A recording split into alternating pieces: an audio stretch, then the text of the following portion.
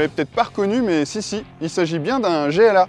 Alors il n'a plus rien à voir avec la première génération, et ça c'est plutôt une bonne nouvelle, parce que bah, le premier c'était plutôt une classe A surélevée, avec des gros pare-chocs et des passages de roues en plastique. Et comme chacun sait, quand il s'agit de choisir son SUV, l'apparence c'est très important. En parlant d'apparence, Mercedes s'est laissé aller à quelques artifices. Je vous montre, petit détail, les faux échappements, magnifique. Bon allez, j'arrête de taquiner. Aujourd'hui, on oppose ce nouveau G-là, cette deuxième génération, à un autre SUV qui a beaucoup beaucoup changé. C'est le Q3. Alors effectivement, Romain a raison.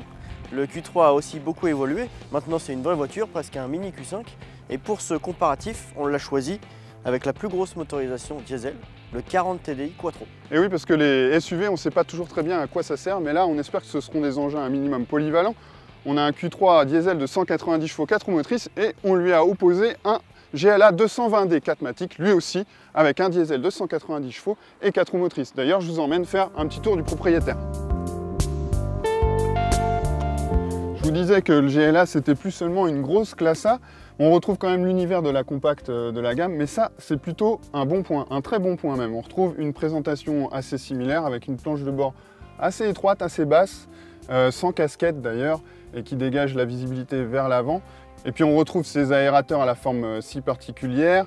Euh, je vous disais donc pas de casquette, mais ces deux énormes dalles numériques, combinées d'instruments et interface multimédia. joli petit volant cuir avec un méplat en bas, très sympa à prendre en main.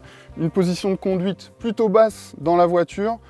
Le siège, le maintien, pour l'instant à vue de nez, un petit peu court pour moi, l'assise, et assez peu de soutien latéraux.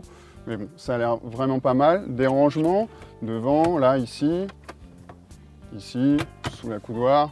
Une vraie boîte à gants, voilà. Des rangements dans les contreportes.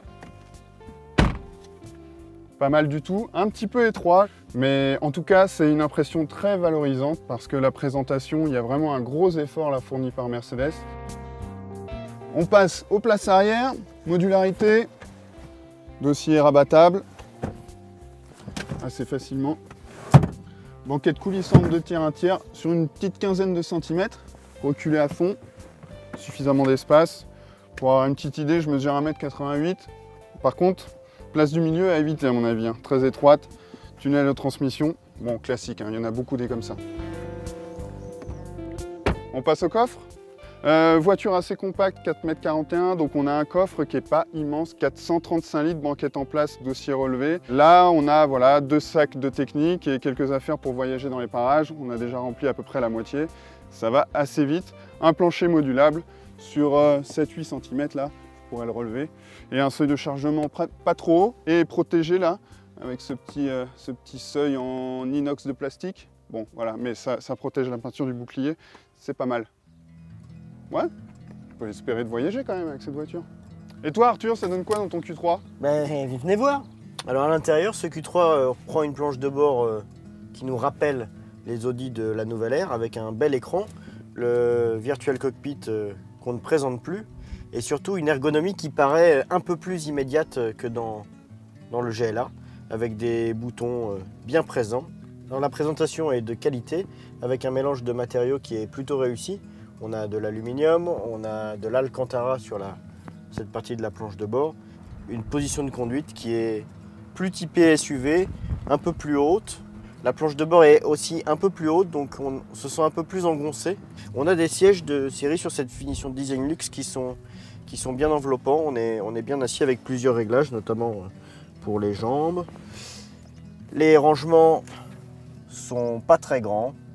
Petite boîte à gants, de gobelet et un rangement aussi qui est, qui est assez petit ici, mais bon, c'est des voitures euh, élégantes et qui font pas non plus euh, que dans le pratique.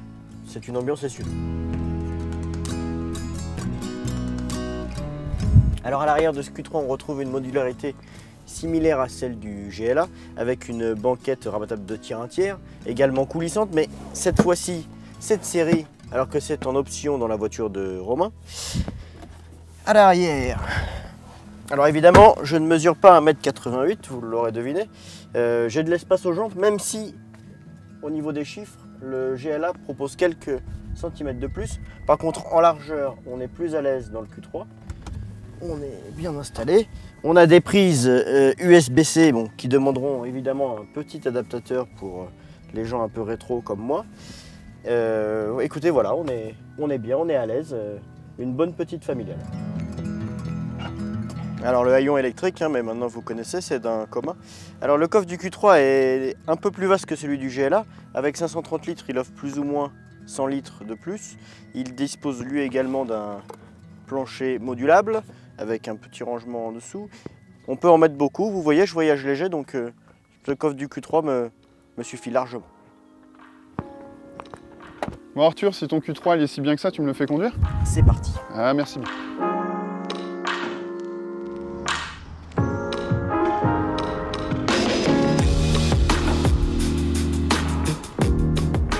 C'est vrai qu'on est bien installé dans ton Q3 Arthur. Et à conduire alors. Eh ben à conduire, c'est doux. En fait la boîte a tendance à rétrograder en sortie de courbe. J'ai l'impression que le moteur est plus creux que dans la Mercedes. Il y a 400 Nm dans les deux moteurs, mais euh, le couple arrive plus tôt sur le moteur de la Mercedes. Là, j'ai l'impression que sous 2000, voilà, la boîte S-tronique rétrograde. Voilà, et et en c'est- fait, et c'est vrai qu'il y a un moment où je pense qu'elle est programmée assez éco en mode normal. Elle souhaite garder le rapport supérieur. Et du coup, à des moments, elle précipite un peu Ouais. le retour. Alors ça j'aime bien que ça puisse enrouler, que, que ça surjoue pas la, la réactivité, que ce soit fluide, coulé, ça c'est sympa. Mais du coup, le revers de la médaille, c'est qu'on se rend compte que le moteur sous 2000, hmm, ça pêche un peu. Pourtant, c'est le gros diesel. Ouais, ouais, 190 chevaux. D'ailleurs, les 190 chevaux, on les voit passer au compteur, je dirais. hein, on voit bien que ça relance bien. Ça accélère pas franchement, on n'est pas collé au siège, quoi. C'est assez euh, aseptisé. Euh, L'avantage de ça, c'est que le moteur reste assez discret. Bon, ça n'a pas l'air d'être un modèle d'agilité. Euh, avec les quatre roues motrices, j'imagine que ça lui offre un supplément de stabilité. Alors là, on a l'amortissement piloté en option, c'est un peu plus de 1000 euros. Et j'ai l'impression que même en courbe, euh, il n'y a pas besoin de changer de mode. La voiture euh, verse pas exagérément, même en confort. C'est vrai que c'est plutôt maintenu. Et c'est une voiture qui est, qui est très saine. hein, donc, euh, on n'est pas surpris en la conduisant, euh, en connaissant les Audi récentes. C'est pas une franche partie de rigolade, mais au moins c'est rassurant. Voilà, exactement. Après, il y a l'interface, qu'on parle quand même de tout ça. Je trouve que tout est beaucoup plus concentré dans l'écran que sur la Mercedes où il y a quelques commandes déportées. Après, il, y a, il semblerait moins de cascades de menus, moins de sous-menus. Ça me paraît un peu plus intuitif. Et c'est vrai que cet écran est bien intégré dans la, dans la planche de bord. Reste qu'il faut quand même euh, baisser les yeux. Celui de la Mercedes est plus euh, à hauteur, Hmm, c'est vrai. paraît un peu plus accessible. Je me répète, hein, mais toutes les voitures modernes euh, m'effraient à ce sujet-là. Si on part sans avoir paramétré et si- sans avoir étudié un peu les menus, ben on est là en train de chercher. Et je suis désolé, c'est dangereux. Heureusement, on peut régler la clim, euh, contrairement à certaines Peugeot, via des boutons. Ouais. Et donc, Certaines Volkswagen aussi, la Golf. Tout à fait, tout à fait, tout à propos des multiples commandes qu'on trouve dans la voiture, il y en a une que j'aime beaucoup, c'est celle qui est au bout du commodo de clignotant. Elle permet de désactiver d'une touche, vraiment d'une Ouais. touche, le maintien actif dans la voie de circulation. Et tu as raison, il n'y a pas besoin d'aller dans les menus et ça c'est Voilà, un raccourci euh, pratique et sécurisant. c'est rassurant, on n'est pas surpris. Je suis bien installé dans des sièges euh, dans lesquels j'ai l'impression de pouvoir faire des kilomètres et des kilomètres. C'est vrai que ça, ça fait pas petit SUV.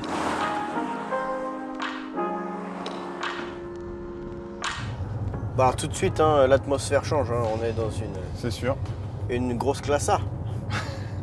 non mais on reprend sans rire la planche de bord euh, Ouais. maintenant bien connue avec ces deux beaux écrans Mm. qui libèrent quand même, ils sont assez bas, ils libèrent bien le champ de vision. Mhm. Alors c'est vrai que moi je suis assis tout le temps euh, par terre malgré ma petite taille, mais, mais on, on voit mieux, on voit mieux, c'est plus dégagé que dans le, dans le Q3. Ouais. Et alors ce qui me marque le plus, euh, c'est tout de suite les mouvements de caisse, euh, Ouais. le roulis, la voiture elle tangue. euh, Il faut dire que cette voiture elle est aussi équipée de l'amortissement piloté. Et là on est en mode confort. Et il faut faire attention. Euh, Il m'est arrivé de faire talonner la suspension à l'avant sur, sur des grosses compressions en mode confort. Donc si Donc c'est quoi la solution? La solution c'est déjà peut-être de rouler moins vite. C'est Ah. c'est le plus sérieux peut-être. C'est vrai. Et si vraiment, Soyons raisonnables. et si vraiment vous n'êtes pas forcément raisonnable, c'est déjà de mettre l'amortissement en mode sport. Le moteur et la boîte, ils ont l'air d'envoyer. On a des puissances similaires à l'Audi. Ouais. Mais T'as vu, le moteur, il paraît plus Ouais, long, ouais, plus réactif, et avec la, La- boîte 8. la alors, boîte, euh, elle dépote bien aussi. C'est vrai qu'elle elle est- elle réagit très bien. Elle a un rapport de plus. C'est une boîte robotisée à 8 rapports contre 7 dans l'Audi. Et on a vraiment l'impression que là, le, le GLA, il en, tire parti. Un moteur plus tonique et qui réagit plus tôt. Et paradoxalement, Arthur, tu parlais des mouvements de caisse qui, te choquaient, enfin qui te semblaient flagrants. Et la voiture me paraît pourtant plus facile à emmener, d'un équilibre un petit peu plus amusant sur les petites Ouais. routes euh, du Massif central. C'est paradoxal parce qu'effectivement, elle a l'air un peu plus vive que le Q3 euh, malgré la, la suspension plus souple. Mais Voilà. Compliqué à expliquer, mais Ouais. c'est ce qu'on ressent en tout Ouais. cas. Un avant qui rentre plus facilement dans les virages plutôt que le Q3 qui, On, qui pêche un peu avec un nez un peu lourd. on a l'impression qu'il y, a- y y moins de poids aussi. hein. Et c'est ce pas qu'une impression parce que du coup euh, on a vérifié, c'est euh, 1670 kg euh, pour ce GLA, euh, 1770 kg pour le Q3, il y a 100 kg d'écart. En sonorité, c'est à peu près pareil.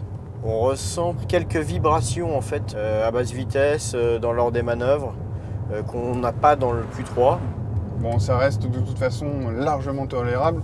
Et l'avantage du diesel, on le répétera jamais assez, c'est la consommation. On- Bah, 190 chevaux, 4 roues motrices. Alors dans le pire des cas, avec le Q3, on s'est approché, euh, on va dire, des 8 litres. Ouais, ouais. C'est ça. Là, avec le GLA, qui est donc plus léger, on est plus près des 7, ce qui est vraiment pas mal.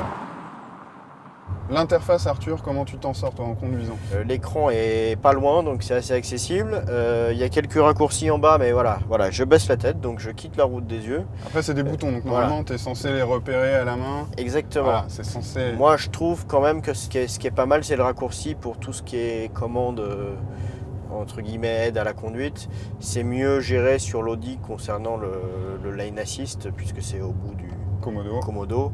Euh, là, en appuyant sur le petit logo de la voiture, vous avez, euh, Ouais. vous avez tout euh, qui apparaît. Répertorié, on a un accès direct. Notamment, notamment le tête haute indisponible sur le Q3. sur le Q3. Moi, ce que j'aime bien dans le GLA, c'est que hum, il y a beaucoup de choses tactiles, mais il y a au moins une, vraie commande déportée Ouais. sur le tunnel central avec un pavé qui est lui aussi tactile. Mais comme il y a un retour haptique, voilà, on ressent euh, notre navigation à travers la, la main. C'est pas mal. Après, il y a une commande vocale aussi qui est nettement plus performante dans la Mercedes Ah, que, dans le Q3. Qui est surtout euh, qui permet de faire beaucoup plus de, de choses. On peut dire que ces deux voitures peuvent s'équiper de- d'aide à la conduite hors bitume aussi. Il y a un système d'aide à la descente. On peut éventuellement euh, s'écarter de la route. euh, tout attention pneumatique quand même. Voilà. Donc si vous allez à la montagne, on préconise plutôt évidemment l'usage de pneus hiver qu'une transmission intégrale euh, sur une voiture lourde qui vous sera d'un certain secours en motricité mais, mais pas forcément en adhérence. quoi. Et la transmission intégrale, vous la traînerez entre guillemets toute l'année. Elle vous coûtera en consommation et, et en pièces d'usure. Et peut-être aussi en, en malus. Eh oui. Mais on en reparlera bientôt. Ouais, on- je pense qu'on va en reparler.